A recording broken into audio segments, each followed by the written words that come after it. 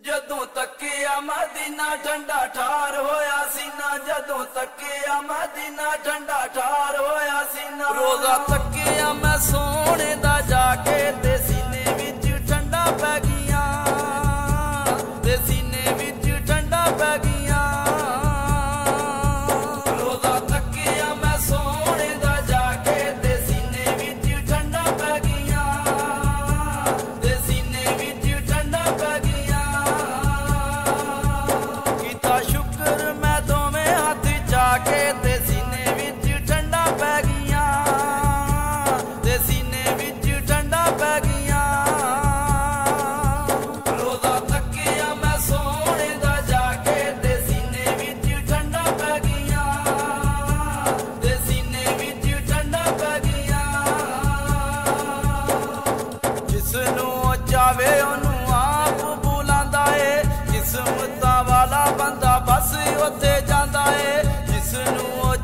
ਉਹਨੂੰ ਆਪ ਬੁਲਾਉਂਦਾ ਏ। ਕਿਸਮਤਾਂ ਵਾਲਾ ਬੰਦਾ ਬਸ ਉੱਥੇ ਜਾਂਦਾ ਏ।